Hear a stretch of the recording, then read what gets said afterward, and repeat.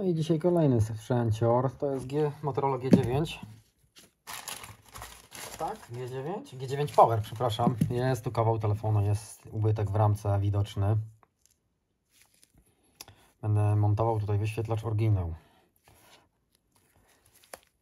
Chociaż Motorola oryginał jest tak oskubany.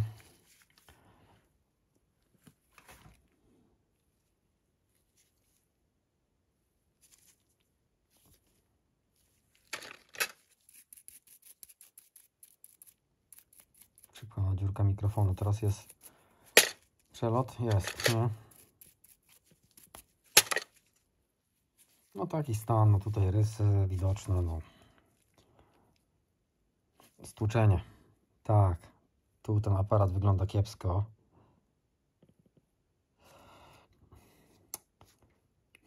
Trzeba by to doczyścić.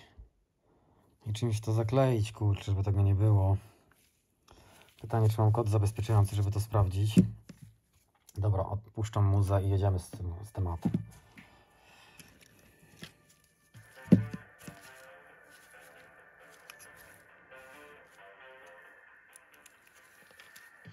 Oczywiście moje samopoczucie znowu podupadło, bo znowu się czuję źle. Jeszcze przed chwilą było dobrze. Cały czas mnie to odpieraństwo trzyma.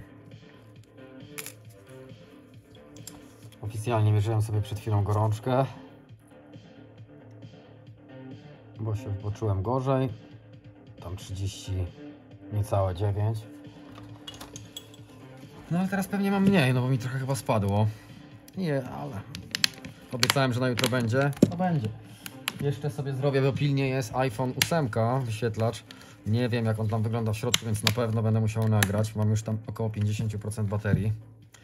Także może dam radę moim iPhone'em.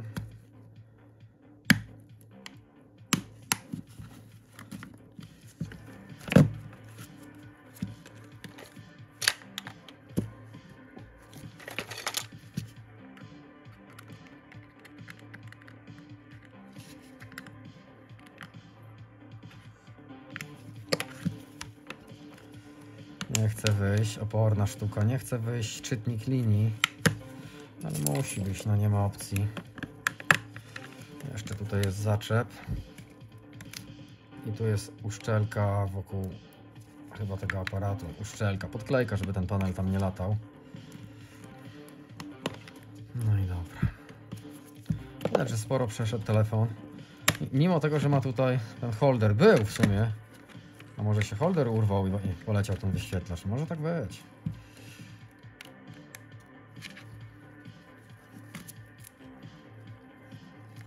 Resztkę sobie zdajemy tych podklejek.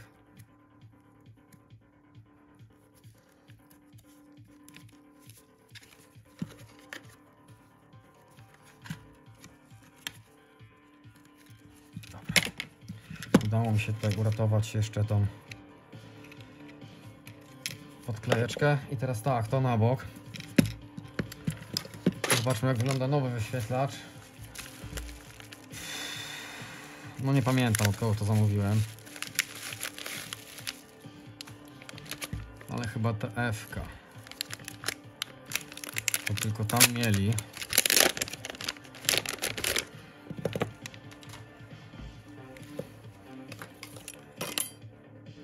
No nie, no nie, Motorola ma takie te końcówki tutaj jak Siemens kiedyś, więc muszę sobie zmienić tą końcówkę i nie wiem czy ją gdzieś tutaj mam.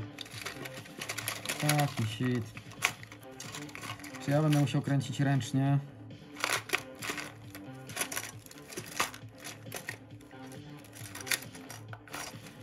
Hmm. Kurczę, w pracy to mam tego pełno, a tu nie mogę znaleźć tak zwane bity. Dobra, ręcznie to odkręcę, trudno. Chyba, że, chyba, że... Kurczę, nie, tu też nie ma. Hmm, nie ma. Dobra, kręcę ręcznie, bo to jest tylko kilka śrub. Jak się zrobił taki leniwy. Kiedyś się kręciło po, nie wiem, 100 telefonów. Trzeba było rozkręcić, skręcić i robiło się to w dwie osoby za nockę, żeby zdjąć simlocka z, Siemensa, jakiegoś tam A52. po test pointach Martechem. Pamięta któryś z kolegów oglądających.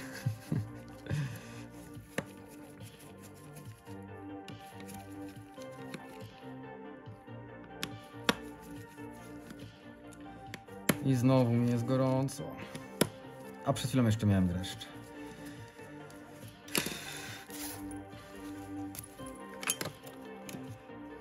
Spróbuję sobie odzyskać te plomby.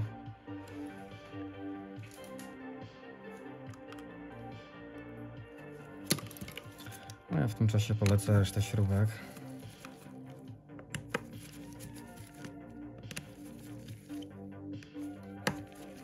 Sumie tutaj pod tą baterię też już niech sobie robi robotę IPA.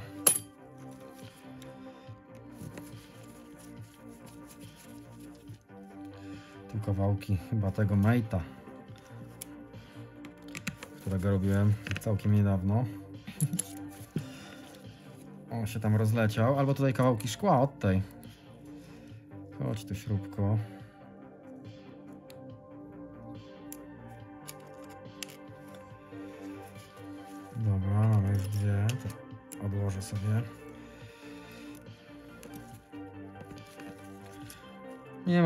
Mam namagnesowanego tego wkrętaka, bo rzadko go używam.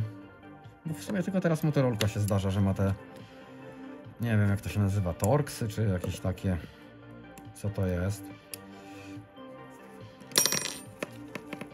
Mniejszy od Noki w każdym razie. Siemens był mniejszy, Nokia była większy.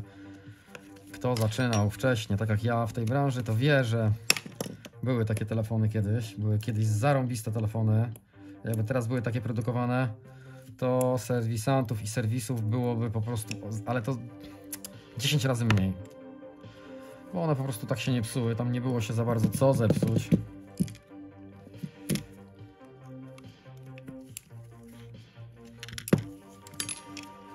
Były po prostu tak proste w konstrukcji, a takie rozwiązania są po prostu najlepsze. I się po prostu nie psuły. No i puste były, co one tam miały. Jakiś element od zasięgu, jakiś procek, kontroler i tyle. Wyświetlacz monochroniczny. No ale też pękały, tak czy tak też pękały ludziom. Obudowę się sprzedawało. Też się kręciło.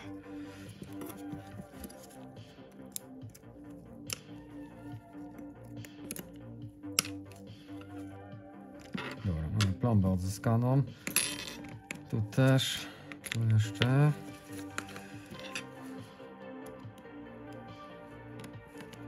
Ciężko to wychodzi, ale to nic. Spróbujemy to wyciągnąć całe. Tylko trzeba trzymać, żeby śrubki nie, nie wyskoczyły. Tu jeszcze jedno, mocniej trzyma. Dobra. Jeszcze. O, całe ze śrubkami ściągnąłem. Dobra. Może ja w tym czasie sobie poszukam tego, e, tego magnetyzera.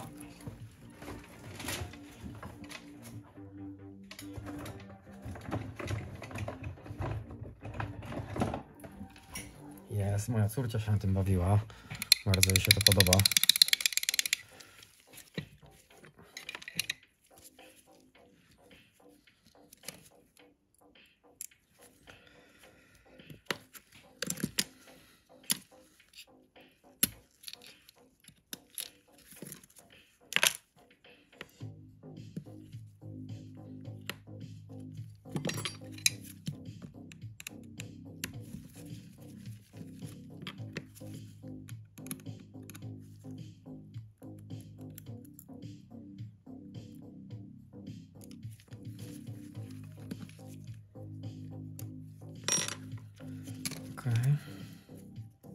Dobrze, że chociaż jest to ta tasiemka pod spodem. No, klawiszy bocznych już trzeba przełożyć, bo przecież to by było święto, żeby Motorola dała. No przecież cud musiałby nastąpić.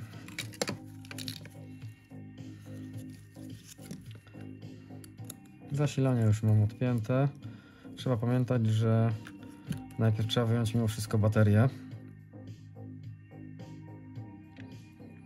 Teraz się zastanawiam, jak to sobie tutaj wymodzić. Tu sobie podleję tą wibrę też. Położę sobie chyba na podgrzewacz. Szybko położę, sekundkę.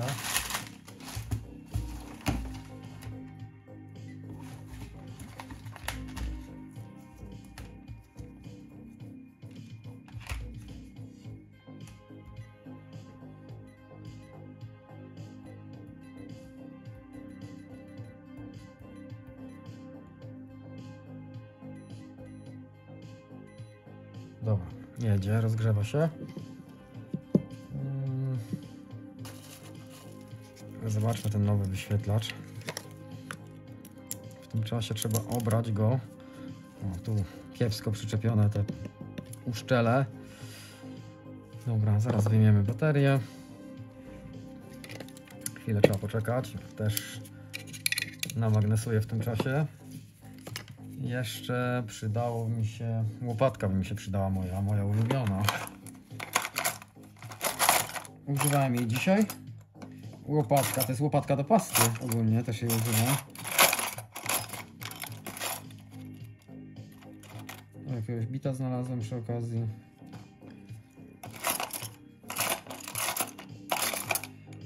Niestety. Przed chwilą jeszcze ją miałem, zaraz ją odnajdę. Ale się źle czuję, kurczę, się schylam, to po prostu masakra.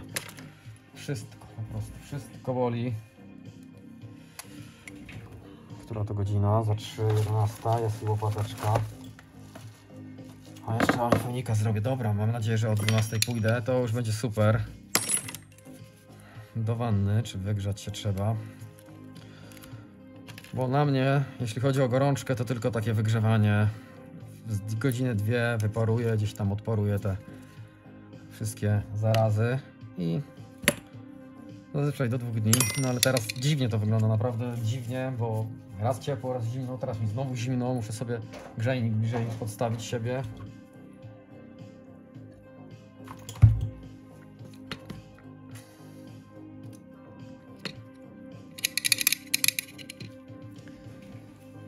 No, musimy chwilę poczekać.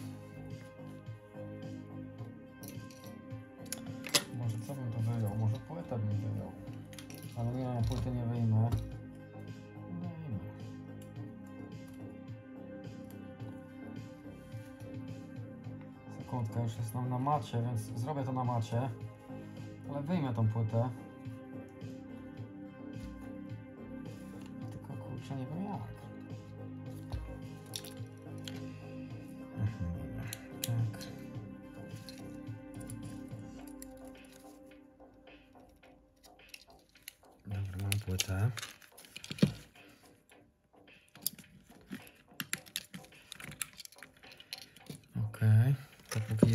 Ciepły, to może skorzystam z głośnika. Po prostu go szybko przerzucę. Jeszcze raz podleję boczne klawisze. Tutaj trzeba tej ipy. E, tu go. Hmm. Jak tu nie ma? Nie ma? No, tu nie mam, sorry, tu nie ma. Podlewam z powrotem. Tu podlewam. Wibrę też podlewam. I dobra, spróbuję teraz najpierw zacząć od wibracji. No i tutaj się odkryła normalnie, nie jak w mejcie. Przy w poprzednim filmie. No masakra, tak trzymało, że nie mogłem tego podważyć. Przecież nie będę z tym się szarpał na siłę. Dobra, wibra jest. Dobra, jeszcze na podgrzewacz tutaj szybko tą baterię, żeby tam od spodu ją wypchnąć. Co jeszcze tu mogę wyjąć? Tak szybko zerknę. Boczne klawisze, no ale muszę baterię najpierw. Mm. Płytka to idzie z przewodami antenowymi tutaj. One są wsadzone tutaj w ten rowek. Tak to sobie Motorola wymyśliła. Jest taki fres tutaj i w niego wchodzi ten przewód. Przewody dwa. Zobaczymy jak z czujnikiem zbliżeniowym, jak to jest rozwiązane. Tak, tu trzeba tą gąbkę, tą gumkę wyjąć. Kurczę, tego zapomniał, to ja narobiłbym sobie roboty.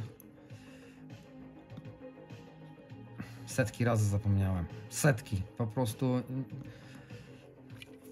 Zdarza się. To człowiek robi już odruchowo. Nie wiem, czy w ogóle taki telefon kiedykolwiek robiłem, kiedykolwiek wyświetlacz wymieniałem. Jak już się zrobi tego kilkaset w roku około tysiaka sztuk, no to wtedy jakoś tak łatwiej to przychodzi wszystko.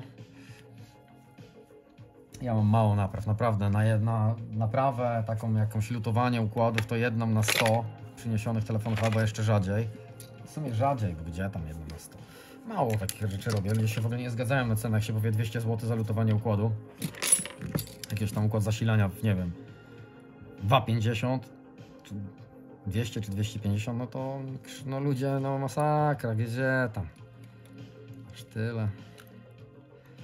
No ale za niżej nie opłaca się w ogóle nawet tego tykać. Tak naprawdę no, lepiej jest od razu kupić płytę główną, ale no jak ktoś chce odzyskać dane. Miałem ostatnio właśnie taki przypadek z Samsungiem A20e. Kurczę, no szukałem krok po kroku zwarcia, znalazłem w końcu zwarcie w jakichś elementach od zasięgu. Uruchomiłem sprzęt i chciałem, żeby no wiadomo, że jak wyjąłem ten układ, wyjąłem układ zasilania, tam jakieś, takie, jakieś kontrole taki pomocniczy z układu zasilania, ten układ Power IC, się okazało, że na nim się odkładało na termowizji, było widać jak na nim się odkładało zwarcie, a tak naprawdę było to gdzie indziej. Doszedłem do tego, wymieniłem wszystkie te układy i telefon działał, ruszył mi, nie miałem kodu zabezpieczającego i bym te dane zgrał klientowi, ale się okazało, że no, a kod był 1234. Kurde, że ja w ogóle nie pomyślałem. W ogóle, no i przedobrzyłem, no wiadomo, że klient odbierze tylko jakimś tam kartą pamięci czy z pendrive'em dane, a telefon no żyje, no ale nie da się tam z niego, no nie wiem, w pełni korzystać z Wi-Fi czy z, z sieci. Nie da się dzwonić, więc no mówię, wylutuję ten element od stawcy po prostu wylutowałem. To taki wzmacniacz antenowy jakiś. Niestety, ale wychodzi na to, że przegrzałem płytę, bo po drugiej stronie było za dużo tych kombinacji, robiłem za dużo było lutowania i no i zamówiłem sobie na, tutaj na Allegro sita do tego, żeby postawić tego tą pamięć. Zdjąłem sobie tą e, pamięć, zdjąłem sobie, miałem zdejmować procka, no ale jak sit nie ma, to nawet nie ma po co podchodzić. Zamówiłem, ale mi nie przysłali i przysłali mi maila, że mi kasę oddają. Coś tam się wydarzyło takiego pechowego. Dobra, niech to dalej się grzeje, w tym czasie się pomęczę z tymi przewodami.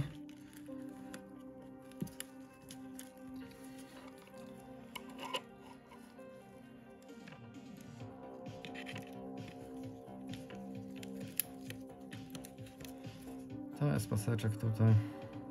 Nie od tego, tylko tu, ale na razie sobie go e, zdejmę. Trzeba mieć cierpliwość do tego, żeby to przeplatać. No akurat czasami idzie lepiej, czasami szybko, pięknie to wejdzie, a czasami niestety trzeba się trochę namordować.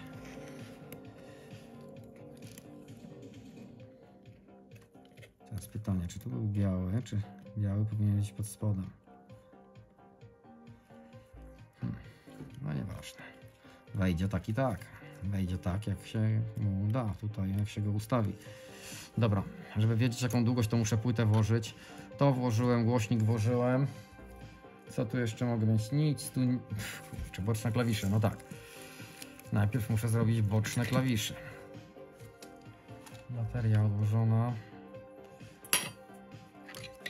Trochę się to nagrzało, więc jedziemy.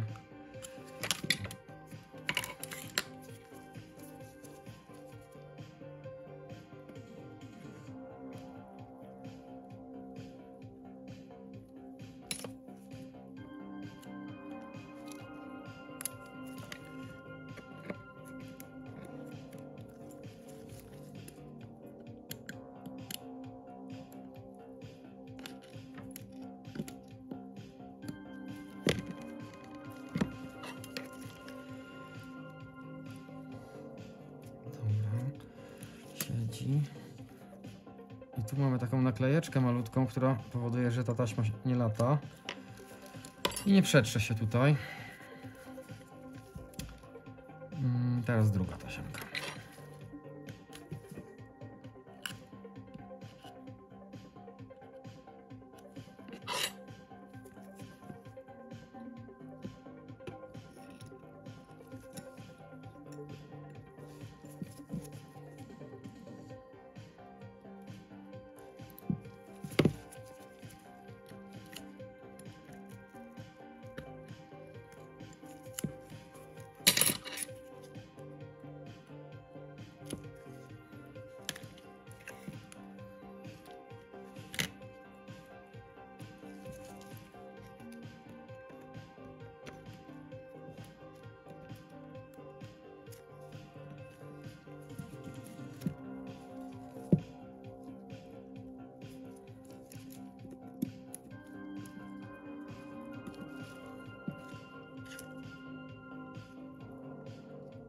Kurczę, gdzieś mi się tam kawałek chyba przykleił.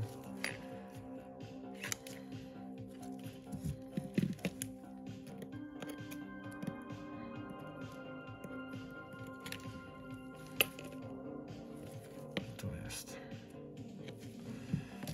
Też tutaj sobie to przykleję, bo ułatwia sprawę. Teraz możemy włożyć płytę główną. Ostatni rzut oka. Co tu jeszcze możemy wyjąć? No jest jeszcze jeden element. To coś białego. Taki... Taka... No nie wiem co to jest. W sumie taka... Nie zaślepka, tylko przewodnik światła z diody, która tutaj no, powoduje, że taki ładny okrąg jest, a nie rozproszone światło. Czyli tak tu nie ma już nic. Uszczelka na aparat jest. Wszystko jest dobra. To to idzie do śmieci. Ale Właściwie to oddam klientowi.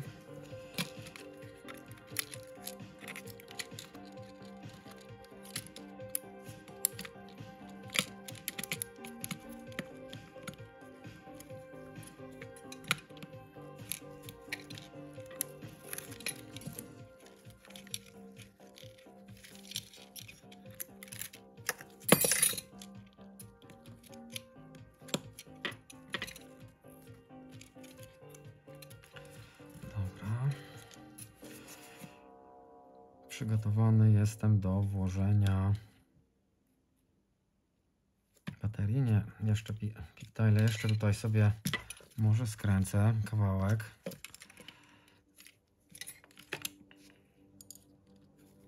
I tutaj ta dolna, żeby mi to po prostu nie latało. Żeby mi tu nic nie wypadło. Dobra. I tutaj jedną z tych śrubek również. Nie tą, srebrną, sorki. I ją wkręcamy tutaj. Wychodzi na to. No gitara, dobra. Padam z nóg. Jedziemy z tym przewodami antenowymi. Chyba nikt tego nie lubi robić. Teraz kurczę, czy dać to pod spód? Chyba dam to pod spód.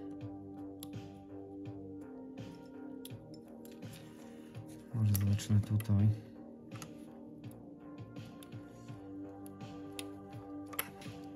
Może białe tam wepchnę głębiej, już nie pamiętam.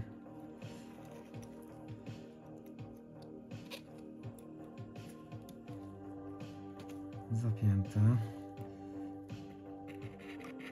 A, to razem idzie, nie białe, tylko jedno obok, obok siebie. Dobra.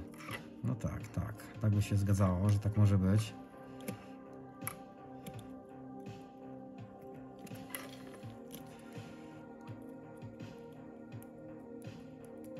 I tu ten jeden biały przewód antenowy, który musiałem wypiąć.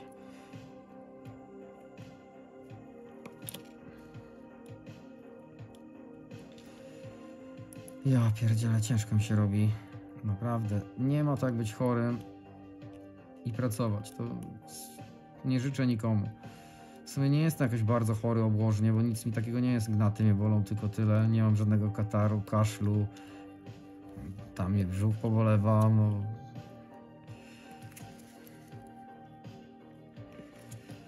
no ale jednak.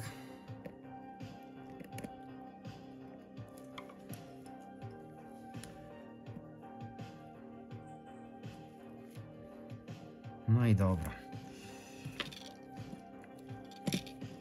Teraz tą naklejką przykrywamy to, co tutaj rzeźbiłem.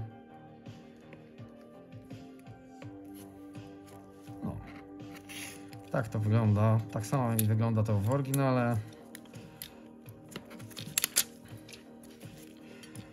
Podklejka. Teraz tak, taśma. Taśma idzie nad baterię, więc baterię sobie od razu wklejam. Te, boczne klawisze mi wypadają, ale ta obudowa to przytrzaśnie. Tak ma być.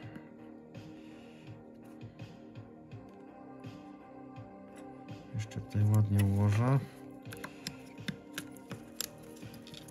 O, pięknie wstryknęło. Namagnesowany w krętach to już całkowicie inaczej idzie ta robota. No, pięknie macie, pięknie, pięknie. Chyba zapomniałem o taśmie. Sorki.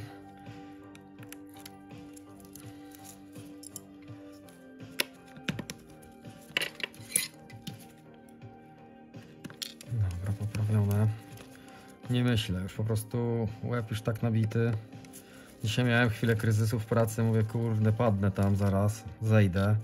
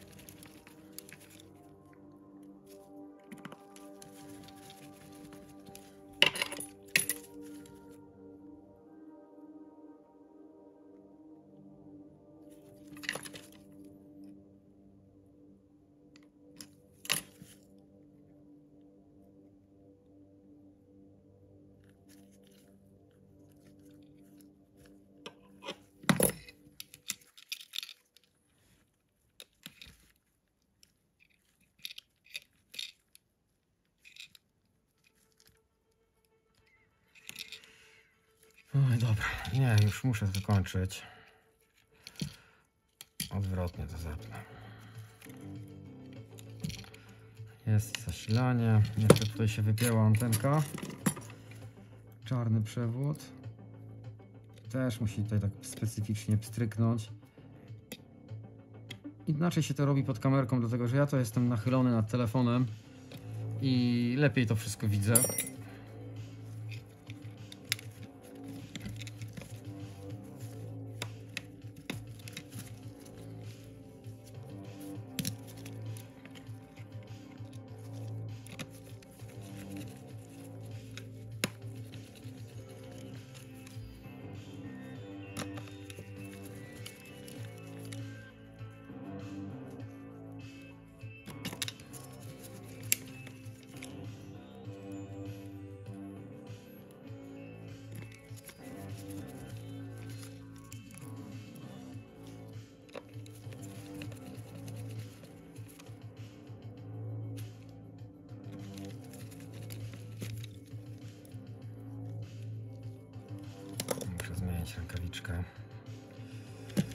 Bo szczeliła.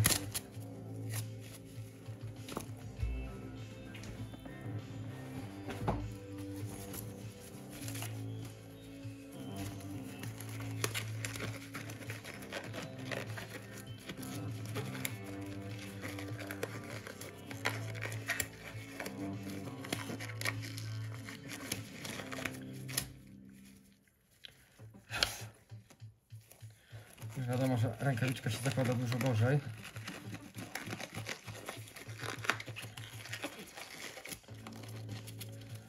Bo ja te rękawiczki nie mam wytalkowane w środku, bo nie lubię.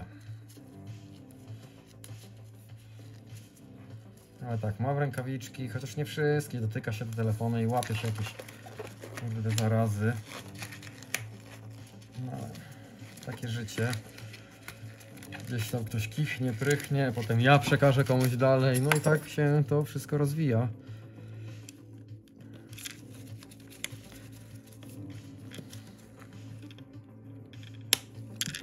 Pięknie skoczyło. O, znowu mam dreszcze, normalnie dreszcze.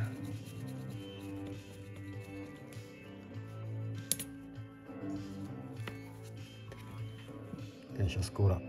Masakra. Gorączka znowu. No i tak co chwilkę. No i cóż, zamykamy sprzęciora. Zaraz go będziemy odpalać. Pięknie to wszystko weszło. No tak ma być. W sumie z oryginałem to zawsze nie ma problemu. Jak Mówię, nie ma to. Sama przyjemność montowania oryginału. Tylko pieniądze marne, strasznie drogie. Się. Co my tu mamy? Rozładowane. Mamy 0,2 A. Dioda świeci, czyli jakiś tam prąd pobiera. Podejrzewam, że jest po prostu rozładowany. Przełączę go chyba w szybkie ładowanie. Tylko które to mam szybkie? Tak, jest w szybkim ładowaniu. 0,2 ampera. Może być tak, że jest tak mocno rozładowany. Trzeba mu dać chwilę.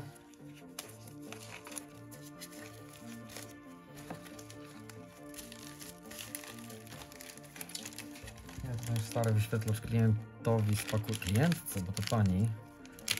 Pani już dzisiaj dzwoniła i zrobił mi to pani dzisiaj, ale no tak, byłem po prostu, tak jestem zmasakrowany. Dzisiaj w sumie ja się o wiele gorzej czułem tutaj po, e, no, po południu. Teraz się czuję trochę lepiej. No dobra, nie chyba nie przetestuję tego, bo no mocno jest rozładowane. Będzie musiał trochę poleżeć.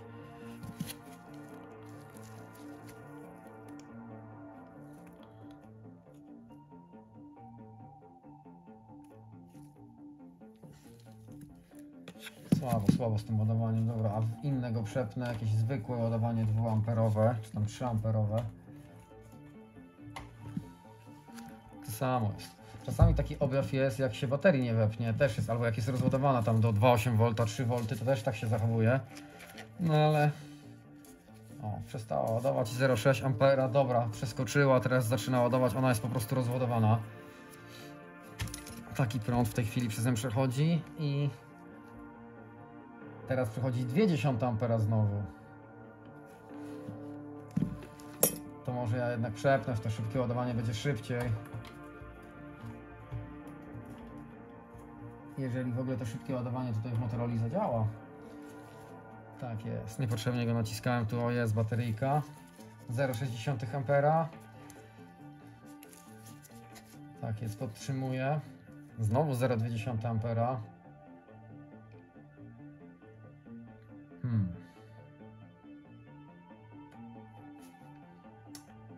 Tak nie powinno być.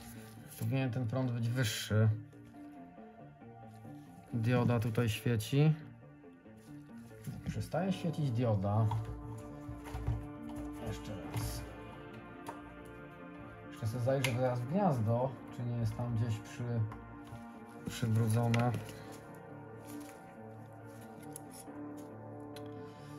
Pincetka, pincetka, pincetka. Jasny gwint. Jest.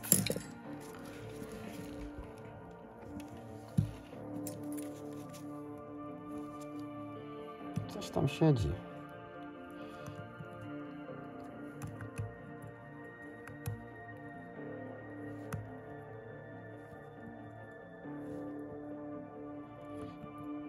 O tym mówiłem.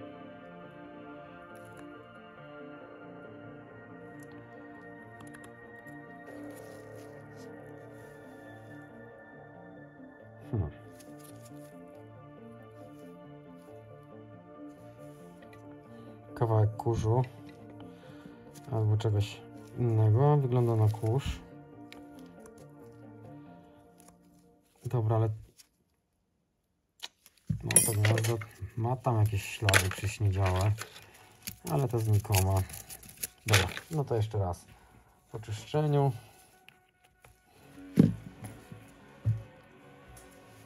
0,6 ampera od razu.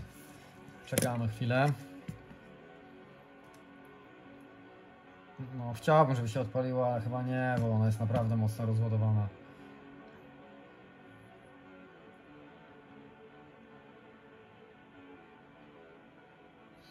No nic, ja sobie tutaj podtrzymam ją pod ładowarką, ona się wzbudzi, bo widać było tutaj ten e, znacznik baterii, także chyba, chyba nie nagrywam dalej, bo tu nie ma sensu po prostu. Wszystko jest złożone do kupy. Jakieś tam ładowanie przez niego przechodzi. Zobaczymy co tam dalej będzie. Potrzymam ją pod ładowarką, najwyżej wzbudzę baterię. No dzięki za oglądanie, proszę jakiś tam komentarz, łapkę w górę, ewentualnie subskrypcję albo na goglach byś mi ktoś w końcu wystawił opinię z widzów. Widać, że nikt tego nie ogląda, dlatego. No ale kto by chciał oglądać takie rzeczy. Dobra, dzięki, pozdrawiam.